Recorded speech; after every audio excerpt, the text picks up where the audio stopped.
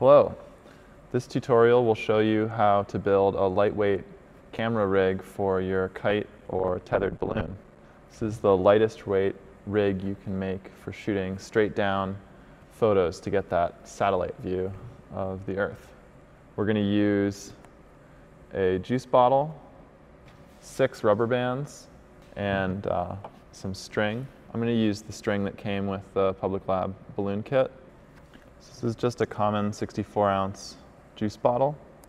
And we're going to start by removing the label and cutting it open.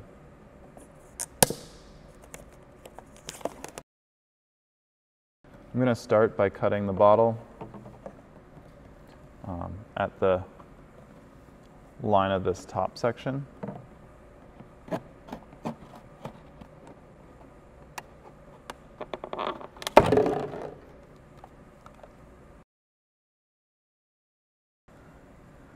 To make this stabilizer fin, I'm going to cut two sections from the lower part of the juice bottle. and just use the existing corrugations as guides.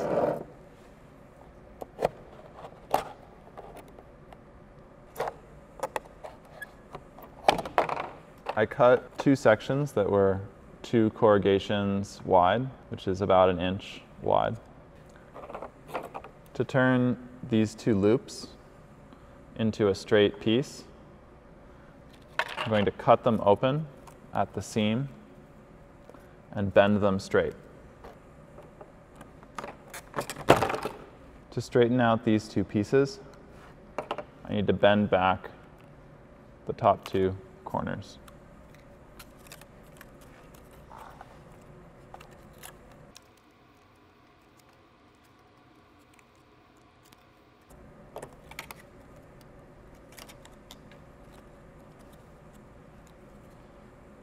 With the corners bent back, I have these two straight pieces and need to tape them together.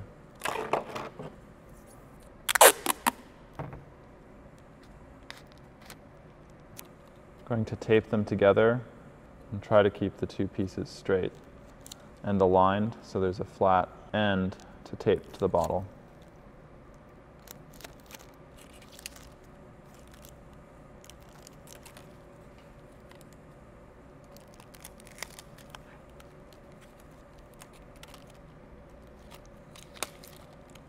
The stabilizer fin tapes to the back of the bottle right behind the camera. The fins go directly behind the camera to pull the camera straight in the wind so it doesn't just spin. To determine where to put the stabilizer fin, I'll put the camera in the bottle and tape the fin directly behind it so that the rig doesn't spin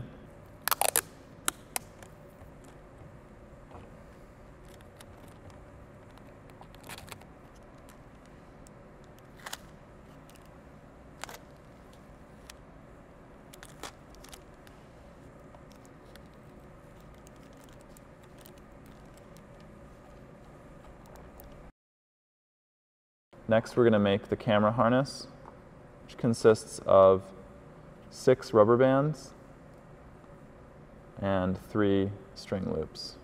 We will start by tying a loop of string between the doubled up rubber bands. First, we'll position the bands on the camera. Double up a rubber band and put one on each side of the camera, avoiding all the menu buttons and the little zoom button.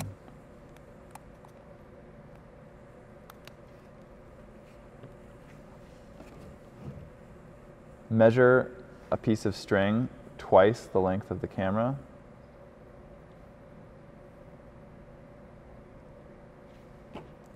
Cut it and tie it into a loop.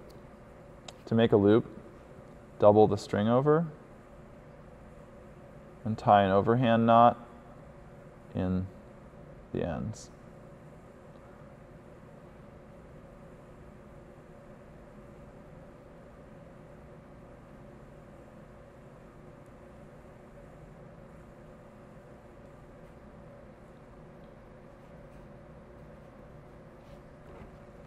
Check that the loop is the length between the two rubber bands, roughly. Take the bands off the camera, make sure they're doubled up, and loop your string loop through the bands. To tie the string loop onto the second doubled up rubber band, I need to tuck it through itself, which means putting the string loop through the second rubber band and then tucking the first rubber band through the string loop.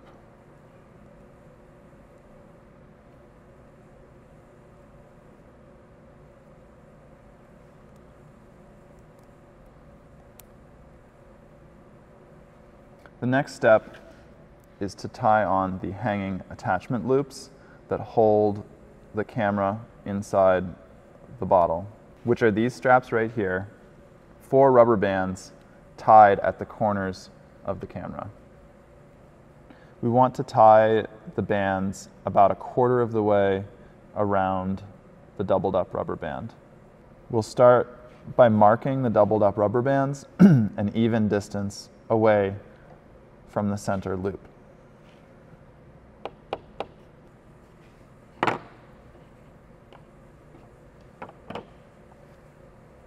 Now I'll tie on four rubber bands, looping them through themselves at each of the markings.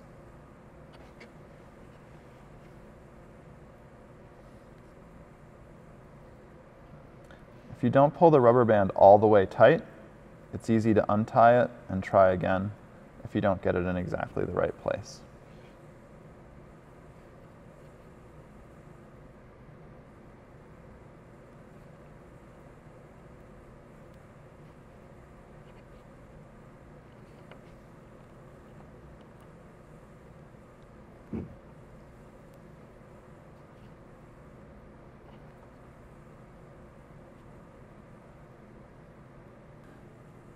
So with my rubber bands tied on, I can tell that they're roughly even, evenly spaced, except for this side. So I'm just going to move this string to between the two bands by loosening it a little bit and sliding it over. Then I'm going to tie all my rubber bands tight by pulling each one Our last step will be to make two string loops that tie the four rubber bands together into two pairs. We want the string loops to be long enough so that when we put the camera into the bottle, they come out the bottom and can be easily grabbed to pull the camera into place. Measure out about 10 inches or 25 centimeters worth of string.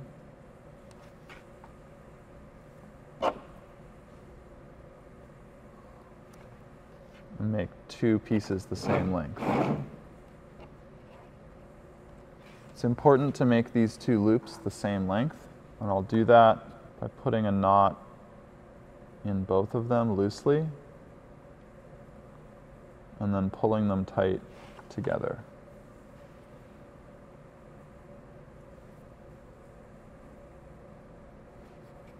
I'll wrap them both around one finger and start to pull tight.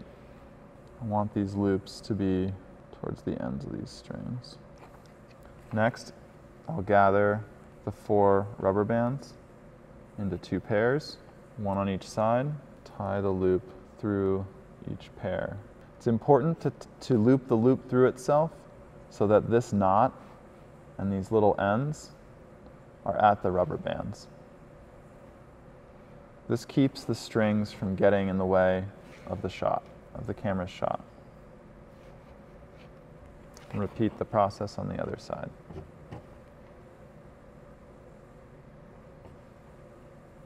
The rubber bands may wear out over repeated use. It's important to check before flight at each of the tie points to look for signs of wear or splitting on the bands. With our harness complete, I'm going to put it on the camera by pulling the two doubled up rubber bands over to the places we put them at the start.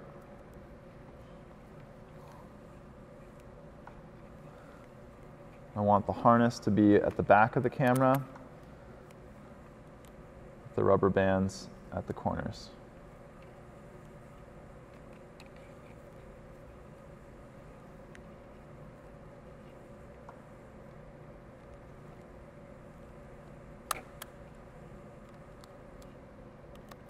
Again, I'm, make, I'm positioning the bands so that they don't hit any of the buttons or zoom levers, so everything's still accessible on the camera. To secure the camera to the rig so it doesn't fall out, we'll loop the attachment loops onto two tabs cut in the bottom of the bottle. The tab should be about an inch wide, so I'll measure about a half inch or a little over a centimeter out from both sides of this center seam of the bottle and cut in about an inch or two and a half centimeters.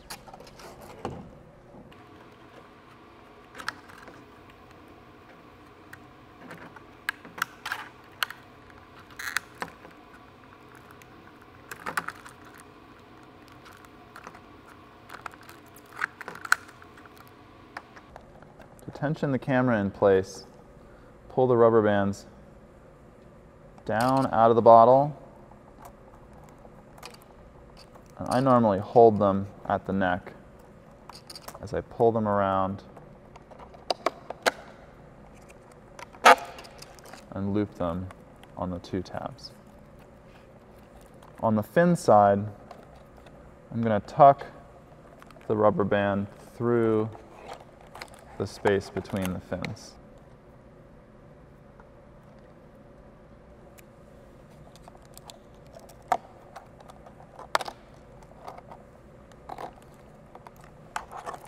So our attachment loop comes down and loops into the inside of this flap. The final step, we're going to attach two attachment loops for hanging our rig.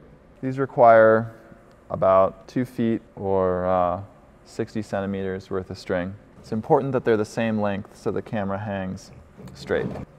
Tie two overhand knots loosely in each loop and then pull them tight together. Now I'm going to loop them around the neck of the bottle and through themselves, each on one side. Just like that. These will usually balance best at the back, somewhere around the back of the bottle, about there, but can be adjusted later. I pull them tight, I pull both loops tight in an even point.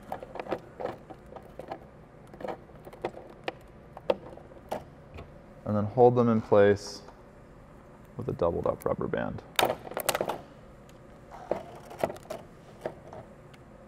Now, let's put our camera in and check its balance.